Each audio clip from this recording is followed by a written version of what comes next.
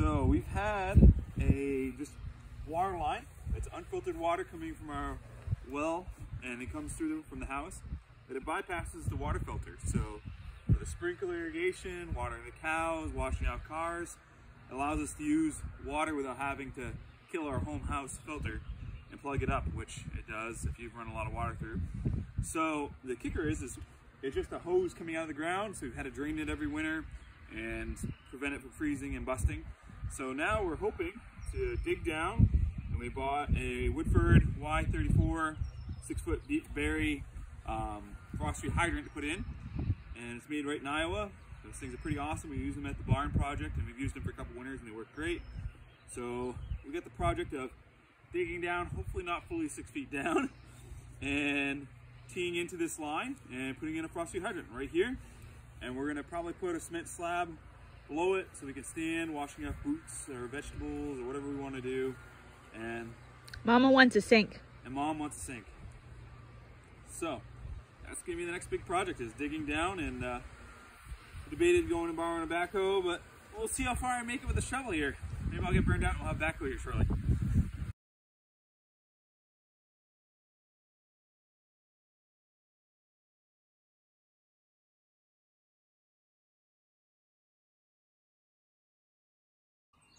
So all these Woodford hydrants all have the standard um, three quarter inch threaded MPT threads on the bottom. So all I'm doing is teeing to the one inch water line and that's what we got to set up and get installed before we drop down the hole and do the next portion. So the biggest thing is, is you don't have to use the yellow type pipe thread. And the reason I have chose to go with yellow is I use this stuff for my tractors, hydraulics, and everything else.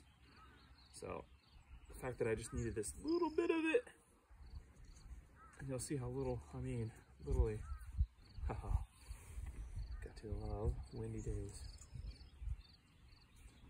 So the biggest thing is getting it set up so when you end, it's actually getting pulled into the threads when you go to thread it in. So you actually want to play around a couple times to make sure you thread in the right direction. That's be more than enough. So, so we got the pipe tape on, and on top of it, hey, this is wet. Do not touch. Help you. I've never seen the gray before. That is new. Help you. To help you. Help you. Help you. Yeah, hold on, see it. Mhm. The whole point of the reason of going overkill is with water lines, you never have to want to dig them back up again. So, Help you. Where if at all possible, use brass or stainless. Try not to use any plastic fittings. So we got dope on it, tape. Now we can thread it in. We're just finishing threading in. So like we talked about earlier, we're over killing everything. It's got tape and compound. And the whole point of this is once we install this, we do not want to have to touch this again for years. And if you just use tape or compound, you can have a leak. So I would come. But with overkill, the odds of having to touch the skin is pretty low. I cannot do it. So what I'm trying to do is I know I had the water line coming away from the house and I want the spigot away. As I get this tightened in, I want this barb fitting going 180 degrees opposite. I think I got enough threads to make it one more revolution. Hopefully. Don't you want to do it? No, I'm going to do it with my I know. You gonna help me? Grab on. No, that wrench has to stay there. That's what's holding it, Roger. So the hold, yep, you guys hold right onto that. Watch out, buddy. He's back. That is about there. Awesome. So, you got it taped, doped, and done. So now we get to go in the hole, cut off the water line, zing two stainless steel one inch pipe clamps on the one inch water line, and we have her. So, on to the next part. So what we're gonna do next is basically make a dry well for the frosty hydrant to drain to, to keep it from freezing. So usually if it's out and away from a well that I'm not worried about, we've always used hydraulic buckets, but where it's right next to the well that we drink from, we scratch around and got some clean buckets and a lid that's not oil contaminated and is clean. And that's what we're gonna use to make the dry well. So what we're gonna do is we're gonna notch the base of the bucket so the incoming water pipe can come into it. And we're gonna notch the hole in the lid so it can go, the shaft of the frosty hydrant come down in. And then when we get it all together in the dry well, the set up, we'll fill it with rocks and there'll be a lid on it. And that will give an area where there's no sand, just rocks and plenty of room for the water to drain. And we'll also nick it and put a couple drainage slots in it. And it's gonna be surrounded by sand, which also should help it drain. But the big component is get the water out as fast as possible when it's 40 below so the hydrant up top doesn't freeze. So pick a corner. You need about at least an inch and a half to two inch sand.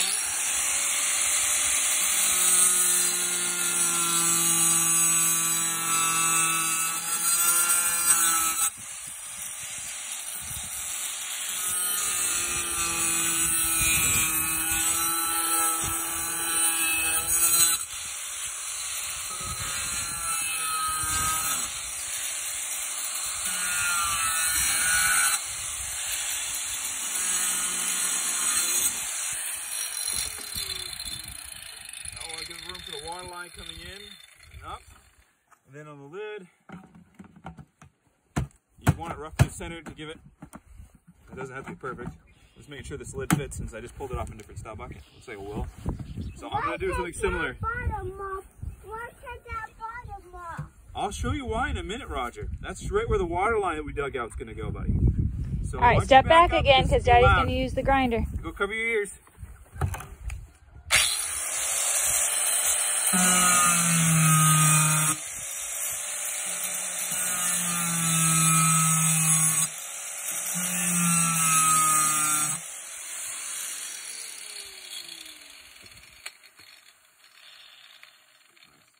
little bit of a flap, so when that pipe goes over, help cover the hole, I guess. Why are you on this?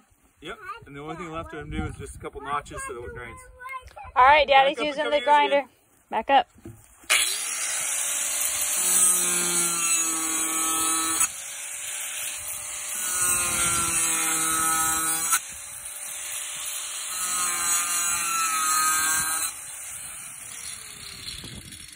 And the lovely cutting disc is one of those diamond blades that supposed to last a hundred times longer or something like that. And for light duty cutting and everything else, they are pretty awesome. So I got my cheapest, chintziest broken grinder set up with one of those and I just never take it off. so let's go get it installed. All right, ready?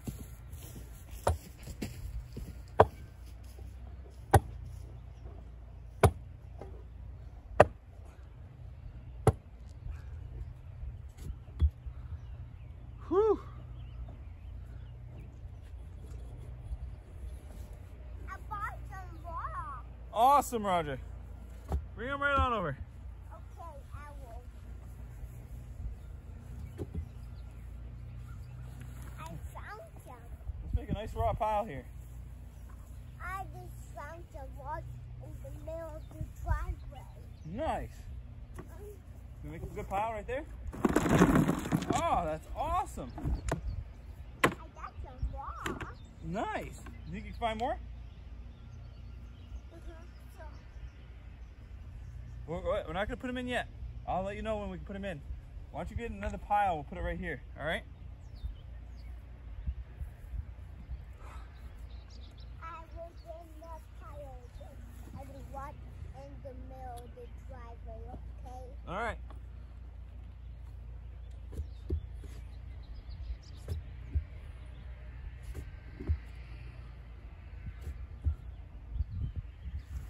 We just slid the bucket and the lid onto it. I'm just gonna get set up to drop down and work in the hole. Where's rock? Put the rock in bucket in a minute. We gotta do it down that hole after Daddy cuts off and gets fittings on and everything else. Everything's in the name of overkill and never have to touch it again. So we're gonna heat up that poly pipe and we're gonna put two hose clamps on. And we shouldn't have to ever mess with this again for a long time. I'm just backing them off so there's plenty of room. Everything set up. And this one. I think I might have to do a little digging to make sure that bucket fits in there. So that should work pretty good. I'm gonna hop down the hole, see how things are. And this one. See if I can work in there. Ooh. So we got the water line cut off and the next step is, is well, you can watch what I'm gonna do in the next portion. Then we're gonna go ahead and slide the two hose clamps on. I'll dig them out of the mud in a bit. And what I'm gonna do next is I'm gonna take a butane torch. I'm gonna warm up that poly pipe. And with it warm, it will slide right in the barbs. And if I get the impact onto those uh, pipe clamps while it's still warm, it will mold right onto it and do a super tight, watertight seal. The kicker is, is this hole being dug by hand is just big enough for me to work in. So we're gonna set up the camera off to the side so you guys can follow along, but you're just not gonna be able to see the torch sliding it onto the pipe and getting those pipe clamps tightened down. So well, you'll be able to follow along the best you can from wherever we set you up. So, all right, that car's gonna come down through. Hang on a second until I get repositioned. You can slide those buckets right up the top. Nice. And we get just about yay. And then we'll have the fun of, oh shit. What? All right, let's grab that end of that blue pipe there. That blue pipe, just set this down. Just put that on the ground. Grab that end of that blue pipe and bring it over here. This isn't standard poly pipe, it's a different size, and I don't think that fits. So I'm gonna have to get a different fitting. Oh, shit. All right.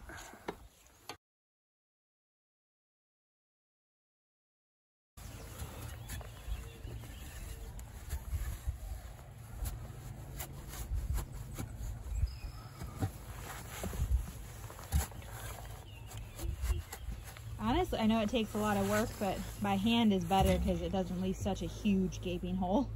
I want to grab that torch over there and that imp that impact driver.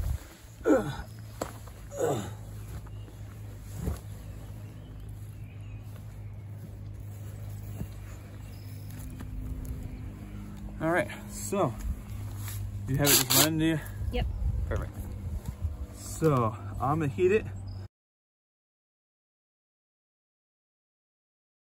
You wanna go ahead and stand it up roughly near the hole?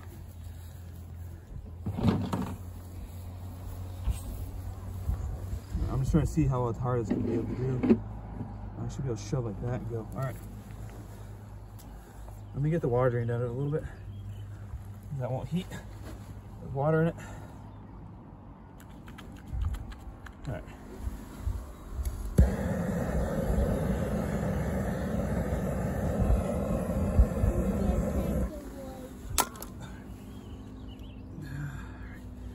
So that and shove it. Let me heat it again.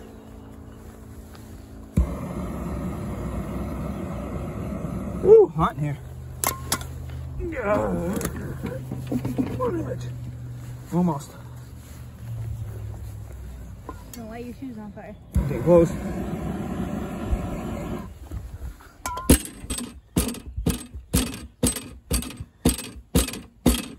Pretty sure it's all the way in.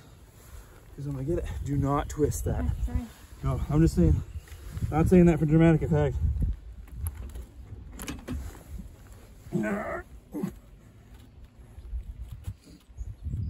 hot, hot. No, you're good.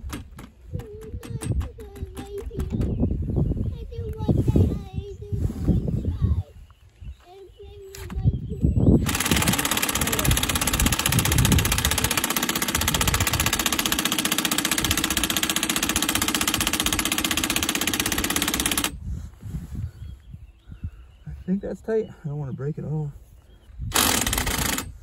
That's definitely tight. All right. One more hose clamp was down here.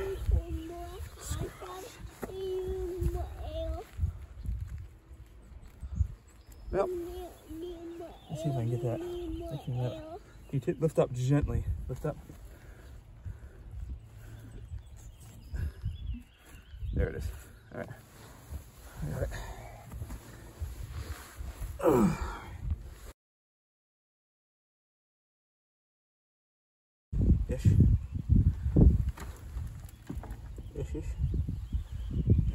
We just need rocks.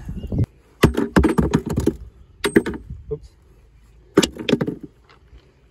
I think the idea is for them to go in the bucket.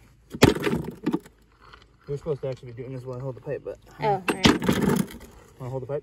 Yes.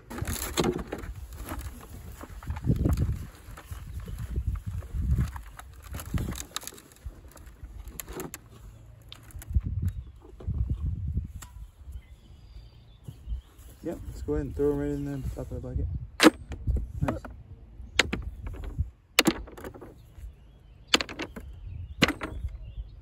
Awesome. The lid slot I put in is not off to the side. So I gotta slit it over. That's trying to cut myself in the process.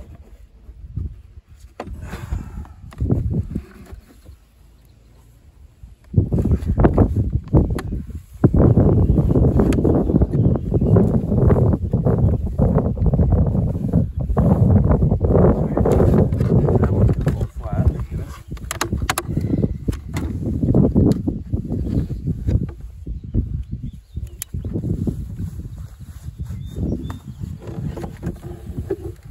Purpose of the lid. Just keep the sand out of it so it doesn't fill right up with shit. So.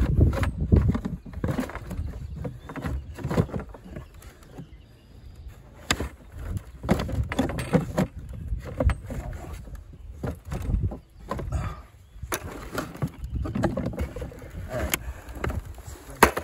Down in here with it again. Try to go towards the center of this bucket.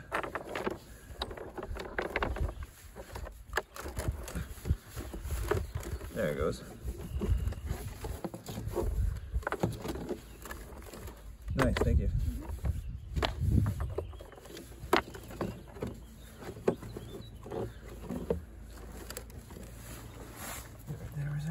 It. Weight onto that. In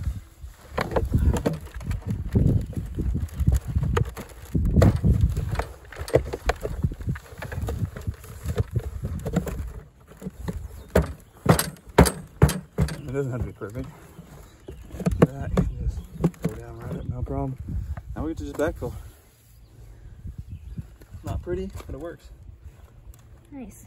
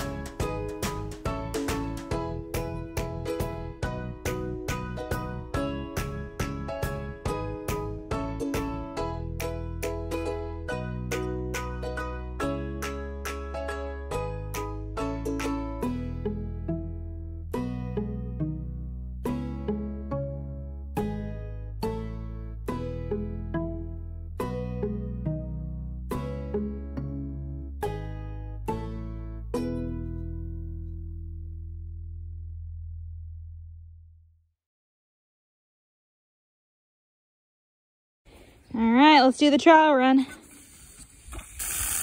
Woohoo! We have water.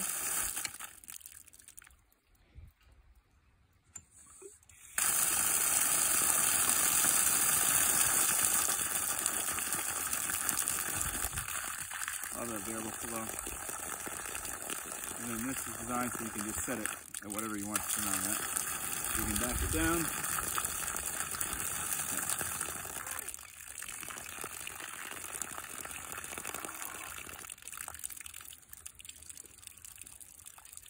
Pretty cool. And then More wide open. And go. Then once close it, And it all drains down that bucket we installed down there, and it shouldn't freeze. Pretty cool. and then we'll put a T or a Y, I should say, off the Yep. spigot. I'll go grab that. And we'll be able to run irrigation lines, plumb a sink eventually, etc.